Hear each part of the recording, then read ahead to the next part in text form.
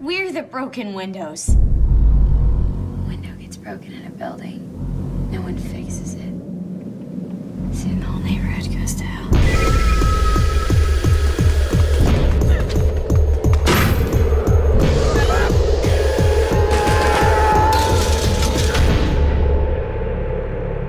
So you just want to sit here on your ass, count the seconds till you die? Let me know how that all works out for you.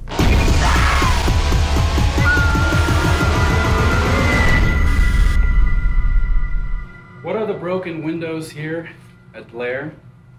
And how can they be fixed?